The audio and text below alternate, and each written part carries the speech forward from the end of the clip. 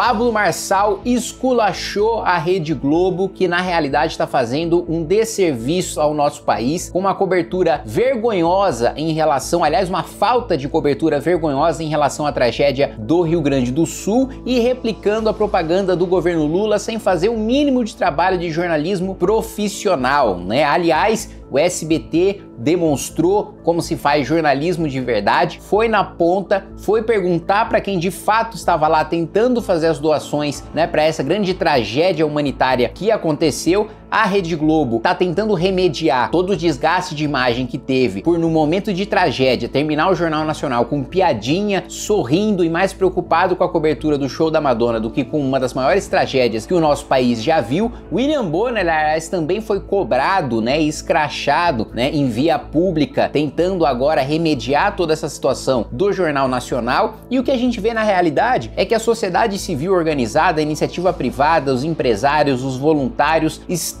ajudando mais do que o governo federal. E isso gera muita indignação e com razão, porque para além de todos os impostos que a gente é obrigado a pagar e é saqueado todos os dias, todos os impostos que os porto-alegrenses, que os gaúchos, que os brasileiros pagam, não é suficiente no momento de emergência e de calamidade, se impõe um monte de burocracias e de condições e de disputas políticas para liberar dinheiro para uma população que tanto trabalhou, que tanto contribuiu para o nosso país e que agora agora no momento de ter um retorno, no momento de ter uma ajuda do Estado brasileiro no momento de calamidade, porque esse é justamente um dos papéis né, do Estado agir em momentos de calamidade, a gente vê uma ação muito maior por parte da iniciativa privada, dos voluntários, dos indivíduos e das empresas do que por parte do governo federal, que aliás está negando ajuda, negando ajuda que poderia estar salvando vidas, né? E nós vamos tratar sobre tudo isso logo depois que você se inscrever no canal, clicar no sininho para receber as notificações, deixar o seu like nesse vídeo. Lembrando que sou pré-candidato a prefeito da cidade de São Paulo. Se você quiser contribuir, se inscreve aí no link abaixo no Muda São Paulo para nos ajudar nessa empreitada. Também quero te lembrar que as inscrições para a Academia Valete estão abertas para você que quer ter uma formação né, é, em história, em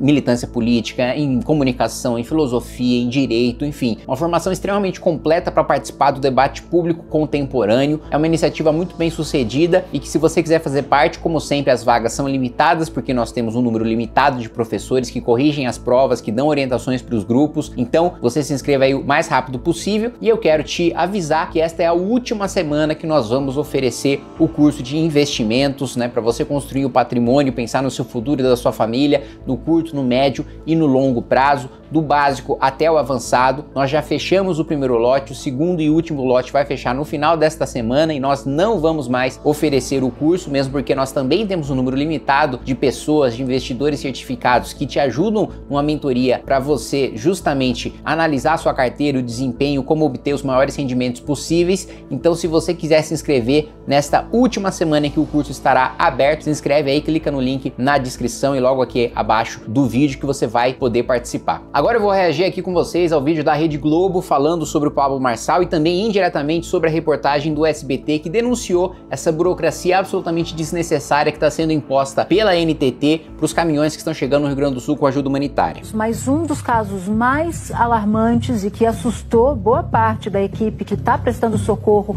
agora às vítimas do Rio Grande do Sul, um dessas, uma dessas fake news dava conta de que os caminhões de doação estavam sendo barrados no Rio Grande do Sul porque não tinham nota fiscal. É de uma irresponsabilidade, isso partiu do endereço certo.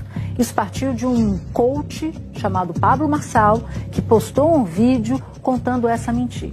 Como que chama essa, essa repórter?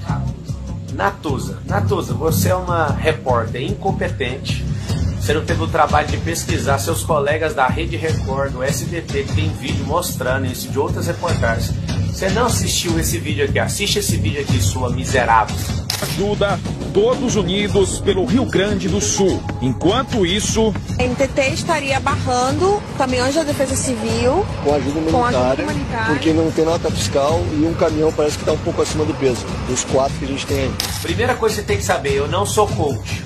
Segunda coisa que você tem que saber, estão falando que não estão barrando agora, parabéns por terem parado de barrar. Tá aqui vídeo, ó, descarregando o caminhão porque passou o limite de peso. É complicado, mano. Se não ficar no peso correto, é zoa demais. O meio do caminhão tá tudo vazio, né? Vai ter que tirar mais coisa, passar ali. Vazio, vazio, vazio vai o caminhão. Primeiro ponto a ser colocado, né? A reportagem do SBT mostra de fato a NTT aplicando multa por um suposto excesso de peso nos caminhões e você vê o vídeo mostrando que o caminhão sequer estava cheio e ainda teria que ser ainda mais esvaziado para cumprir a exigência da NTT. Então, o mínimo de trabalho de jornalismo profissional que se espera de uma emissora de televisão ou de qualquer veículo de comunicação é apurar em vez de simplesmente comprar a narrativa do governo. É muito importante a gente lembrar: o governo Lula está mais preocupado em mobilizar a Advocacia Geral da União para processar adversários políticos que de fato estão fazendo alguma coisa pelo Rio Grande do Sul do que em efetivamente dar uma solução para o problema. De fato, assim, indigna muito a gente saber que os porto-alegrenses, que os gaúchos, que os brasileiros pagam tantos impostos e que na hora que eles mais precisam de um auxílio do governo para poder, né, retribuir retribuir um pouco do trabalho que eles pagaram de impostos na ajuda numa calamidade pública, que é uma das funções justamente do Estado auxiliar nessas situações excepcionais, você vê indivíduos, a sociedade civil organizada, movimentos como o MBL, influenciadores, empresários, cantores sertanejos, ajudando muito mais do que o governo federal, que está mais preocupado em processar adversários políticos, e promover assédio judicial contra adversários políticos do que solucionar o problema. Aí vai a Rede Globo e compra toda essa narrativa. E o que, o SBT fez? Foi até a NTT, mostrou os motoristas apresentando a multa que foi aplicada a eles e a própria NTT admite que aplicou sim essas multas, que sim parou esses caminhões, que atrasou a chegada da ajuda humanitária e mais, admite que essas multas foram aplicadas ilegalmente e que vão revogar essas multas. Então a Rede Globo sai espalhando notícia falsa, sai repetindo a narrativa do governo e ainda tem a cara de pau de dizer que os outros estão espalhando notícias notícias falsas e que isso é uma irresponsabilidade. A irresponsabilidade é você não apurar. A irresponsabilidade é você não ir atrás dos fatos e comprar o discurso de um ministro do governo só porque você gosta desse governo. E para além disso, ainda nesse esforço da Rede Globo de tentar combater todo o desgaste que foi gerado à sua imagem, graças a terem terminado a edição do Jornal Nacional, que deveria ter terminado, né, num clima de sobriedade, de seriedade, de respeito e de empatia às vítimas do Rio Grande do Sul, preferiu terminar com risadinha e tratando do show da Madonna que William Bonner foi lá para o Rio Grande do Sul e foi abordado por um gaúcho indignado que esfregou essa indignação do povo gaúcho em relação a essa canalice da Rede Globo que a gente vai ver junto agora.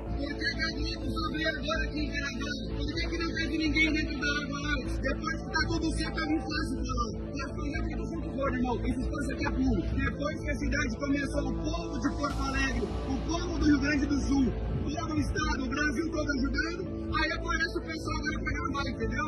Esse serviço lixo, esse serviço lixo, não temos nada a perder. Você vai ficar quieto porque é o teu papel. Você defende o pessoal que não está ajudando a causa. A Globo estava transmitindo Madonna, enquanto o gaúcho estava debaixo da água. O que foi colocado ali por esse cidadão é perfeita e exato e precisamente o sentimento da população. Ainda bem que já passou né, o show da Madonna e que a Rede Globo pode agora focar no que realmente interessa na cobertura numa das maiores tragédias humanitárias que a gente já viveu, que é a tragédia do Rio Grande do Sul. Ainda bem que isso já passou, que a Globo já lucrou, que a Globo já encheu seus cofres e que pode dar a devida atenção agora para tragédia do Rio Grande do Sul e quem sabe ter um pouco de empatia e quem sabe fazer um milésimo do que fizeram em relação da cobertura da pandemia agora que nós estamos vivendo uma crise humanitária que já atingiu mais de um milhão de pessoas no Rio Grande do Sul. Este é o sentimento da população em relação à Rede Globo, que mente, que manipula, que espalha propaganda falsa e mentirosa por parte do governo federal para defender o próprio bolso, para defender os próprios cofres e o próprio criminoso de estimação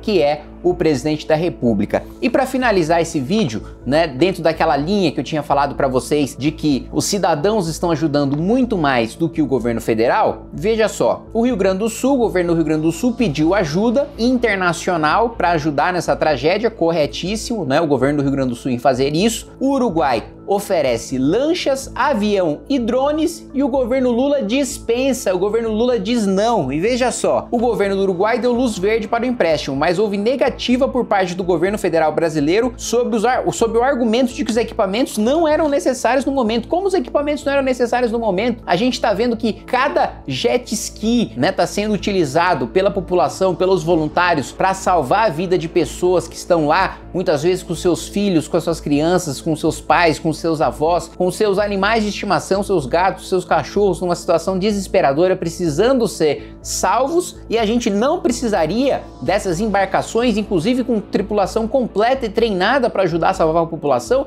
a gente não precisaria desse avião para ajudar a transportar ajuda humanitária vinda do Uruguai. O governo federal está em condições de dizer que não precisa de nada, que está tudo sob controle, que o problema está resolvido. É realmente de indignar né, o governo que está mais preocupado em fazer propaganda. Ah, mandamos centenas de milhões em emendas que já seriam pagas de qualquer jeito para a saúde do Rio Grande do Sul, tivesse ou não tivesse catástrofe. Anunciou que ajudaria o Rio Grande do Sul, mas não pagou até hoje o que disse que iria ajudar desde o ano passado, né, o governo gaúcho, a população gaúcha. Então é de fato uma situação muito vergonhosa e muito triste da gente ver que o governo Lula está mais preocupado em utilizar a tragédia para, por exemplo, como a ministra Aniele Franco soltou um tweet é, preocupada em falar: olha, votem aqui no PT, tira seu título de eleitor, que tá acabando o prazo e a gente tá mandando toda essa ajuda do Rio Grande do Sul. Vai lá e manda, manda o seu voto pra gente, porque a gente tá ajudando vocês, demonstrando muito claro qual é a mentalidade dessa gente, tá mais preocupado com voto do que combater tragédia. Ou mesmo do Messias, né? Do Messias, o advogado-geral da União, tá mais preocupado em processar adversários políticos do que solucionar o problema. Esta é a preocupação do governo Lula: fazer palanque político, atacar os seus adversários, perseguir os seus adversários, fazer anúncios vazios de ajuda que nunca chega para o Rio Grande do Sul e nós estamos dependendo única e exclusivamente da população, dos cidadãos, dos empresários, dos influenciadores, de toda a sociedade brasileira que tem se mobilizado de maneira exemplar para ajudar a população gaúcha. Fala pessoal, o negócio é o seguinte: é fundamental que você se inscreva no Clube MBL para receber os bastidores de Brasília antes dos veículos de imprensa. Você vai saber o que acontece no Judiciário, no Executivo, no Legislativo, antes de qualquer pessoa e vai ter acesso a todos os nossos documentários, mini documentários e votações internas do MBL. É só clicar aqui no link que você vai conseguir assinar.